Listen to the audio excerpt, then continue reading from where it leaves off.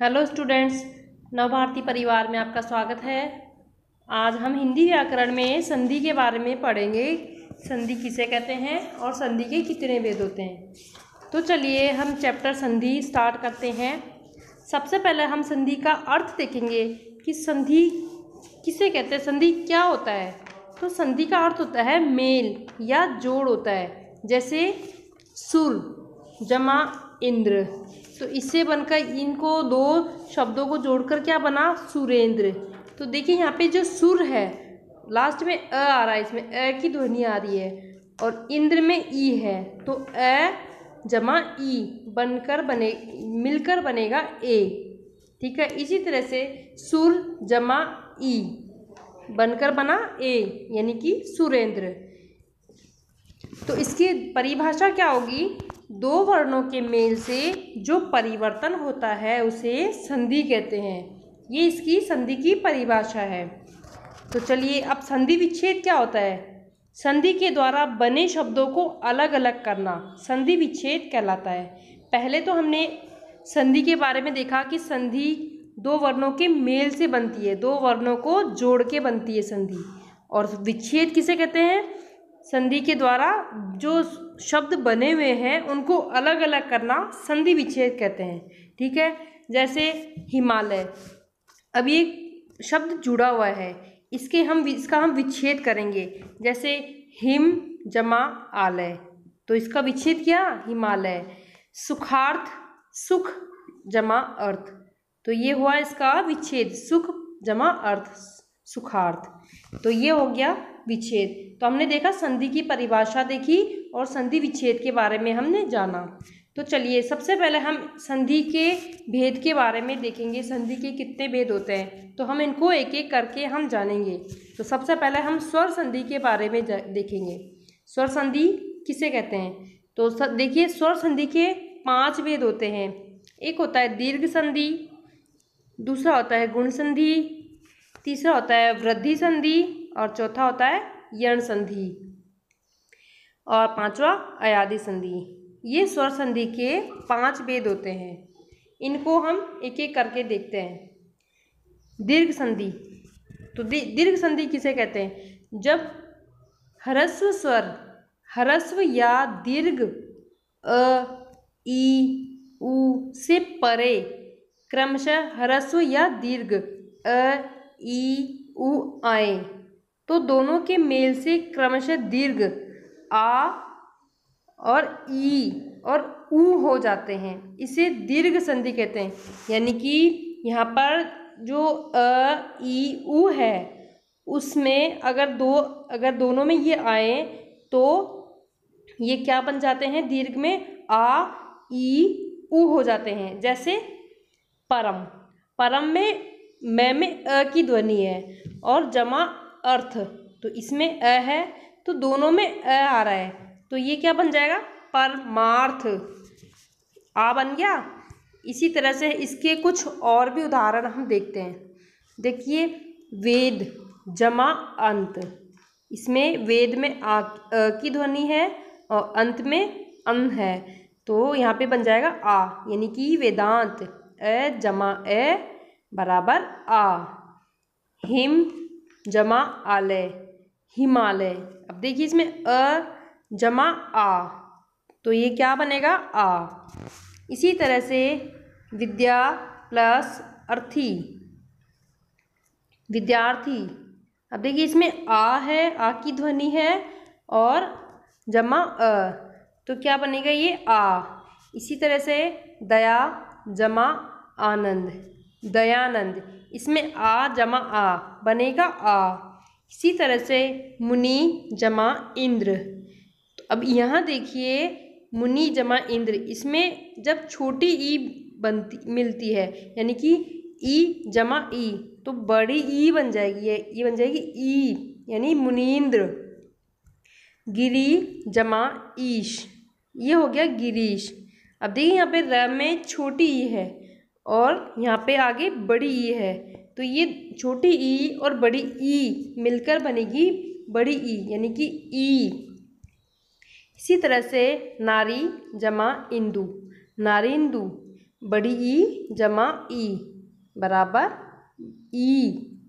नदी जमा ईश तो ये हुआ नदीश। ई जमा ई, बराबर ई। सुख सु जमा उक्ति, यानी कि सुक्ति। अब देखिए यहाँ पे ऊ जमा ऊ तो ये बन गया ऊ लघु जमा उर्मी तो ये हुआ लघुर्मी। देखिए यहाँ पे ऊ जमा ऊ तो ये हो गया ऊ वधु जमा उत्सव। अब यहाँ पे देखिए वधु में बड़ी है बड़ी है, और उत्सव में ऊ छोटा है तो यहाँ पे बन जाएगा वधुत्सव यानी कि बड़े ऊ की मात्रा लगेगी, यानी ऊ ऊ जमा ऊ, ये हो गया ऊ। भू जमा ऊर्जा, भूर्जा। अब यहाँ पे दोनों बड़े, बड़ा ऊ है तो ये बड़ा ऊ ही रहेगा ऊ। अब आगे देखिए, गुण संधि के बारे में जानेंगे हम, गुण संधि क्या होती है? अ, आ, के बाद में, ई या ई के आने पर वह ए में बदल जाता है। यानी कि जहाँ पे अ, आ के बाद में ई या बड़ी ई आने पर वह क्या बदलेगा? ए में बदल जाएगा। और ऊ या ऊ आने पर ओ में बदल जाता है। तथा री में आने पर अर हो जाता है। यानी कि जहाँ पर ए और आ आएगा, वहाँ पर ए में बदल जाएगा और जहाँ पर ऊ और ऊ आएगा, वहाँ पर ये ओ में बदल जाएगा। और री में आने पर अर हो जाता है। इसे हम गुण संधि कहते हैं। जैसे भारत जमा इंदु। अब यहाँ पे देखिए, अ जमा ई। आ रहा है ना? तो ये क्या बन गया? ए में बदल गया। भारत भारतेंदु। इसी तरह से हम इसके उदाहरणों द्वारा और समझते हैं।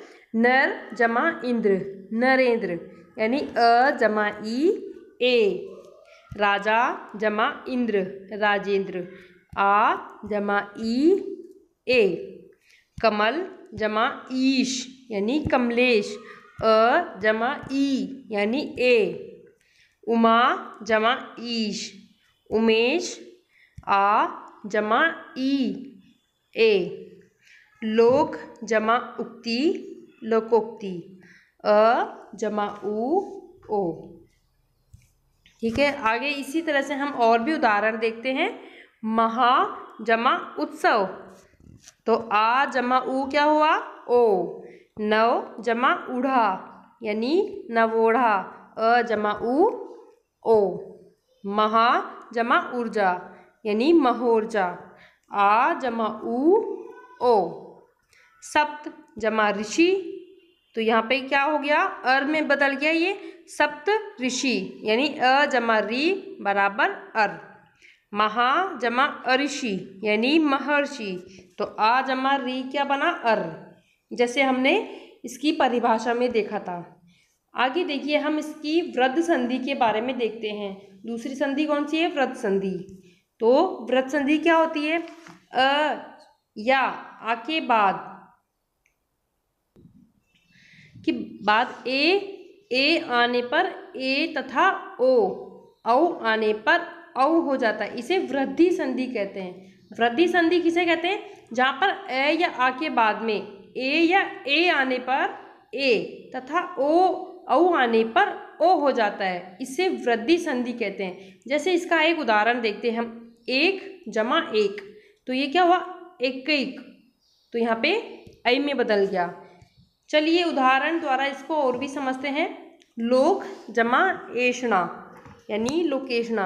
यहाँ पे देखिए अ जमा ए तो ए हो गया राज जमा ऐश्वर्य। राजेश्वर्य, अ जमा ए तो ये हुआ ए। सदा जमा एव, सदैव, आ जमा ए ए। देखिए, जैसे इसमें मात्राएँ लगी हुई हैं, वैसे हमने इसके बनाया। महा जमा ऐश्वर्य। अब यहाँ पे देखिए, आ की आ की ध्वनि है और आगे ऐश्वर्य, ए है। तो ये क्या हुआ? आई हो गया, महेश्वर्य। तो आ जमा ए बराबर ए। दंत जमा ओष्ट दंतोष्ट अ जमा ओ बराबर औ। महा जमा ओजस्वी, महोजस्वी। आ जमा ओ बराबर औ। परम जमा औषध, परमोषध, अ जमा औ बराबर औ। महा जमा औषध, महोषध आ जमा ओ बराबर औ।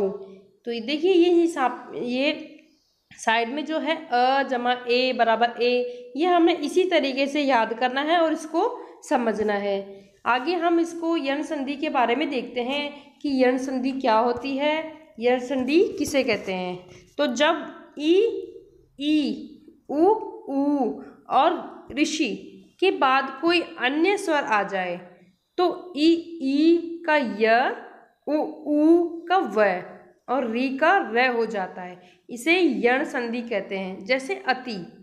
अब देखिए, अति में अति में अति जमा अधिक। तो यहाँ पे अति में बड़ी, छोटी ई की मात्रा है। और अ तो छोटी ई बराबर अ क्या बन गया बन गया? य, यानी कि अत्यधिक। आगे देखिए, हम अयादि संधि देखते हैं। अयादी संधि में ए, ऐ, ओ, औ। स्वरों का मेल दूसरे स्वरों से हो तो ए का अ ए का आय, ओ का औ तथा ओ का आव हो जाता है। इसे अयादी संधि कहते हैं। यानी कि इस संधि में ए, ऐ, ओ, औ स्वर का मेल दूसरे स्वरों के हो तो ए का अय हो जाता है, ए का आय हो जाता है और ओ का औ तथा औ का आव हो जाता है। इसे हम अयादी संधि कहते हैं। जैसे यहाँ पे चे है तो यहाँ पर ए की मात्रा है, ए, चे। तो चे जमा अन, यहाँ पे अन है, यानी कि ए के बाद में अ आ रहा है तो ये हो जाएगा य, यानी चयन। इसी तरह से आइए, इसके भी और उदाहरण देखते हैं। देखिए, ने जमा अन। तो ये क्या हो गया? नयन। जैसे हमने अभी परिभाषा में इसकी देखा, ए जमा अ क्या बनेगा? अय गए जमा अक, यानी गायक। ए जमा अ तो क्या होगा? आय। नए जमा इका, यानी नायिका। ए जमा ई, आई। ओ जमा अन, ये हो गया पवन। तो इसमें औ जमा औ क्या बनेगा? अव। पो जमा इत्र, पवित्र।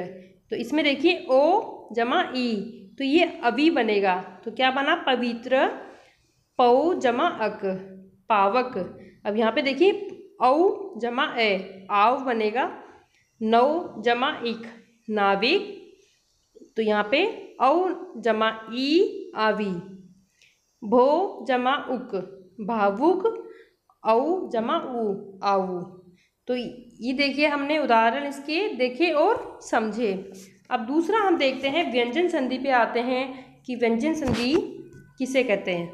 तो व्यंजन वर्ण का, व्यंजन या स्वर से मेल होने पर जो परिवर्तन होता है, उसे व्यंजन संधि कहते हैं। यानी कि जो व्यंजन वर्ण का, व्यंजन या स्वर से जो मेल होता है, उसका जो परिवर्तन होता है, उसे व्यंजन संधि कहते हैं। जैसे यहाँ पे देखिए जगत, जमा ईश। तो यहाँ पे देखिए, आखिरी में त है और जमा ईश है। तो यहाँ पे क्या बदल जाएगा? परिवर्तन हो जाएगा जगदीश। त है, वो द में बदल गया और ई बड़ी ई की मात्रा लग गई तो ये हो गया जगदीश। दूसरा देखिए, वाक, जमा ईश। तो यहाँ पे जो क है, यानी कि इसमें हलंत लगा हुआ है तो यहाँ पे क जमा ई क्या बनेगा? गी। तो ये बन गया वागीश। के हलंक लगने के कारण ये आधा है। आगे देखिए दिक जमा अंबर। तो ये हो गया दिगंबर, क्योंकि क जमा अंग। क्या बनेगा? ग, यानी दिगंबर। आगे देखिए, जगत जमा नाथ तो ये बनेगा जगन्नाथ। इसी शब्द में, इस शब्द में जगत का तय व्यंजन है नाथ का ना भी व्यंजन है।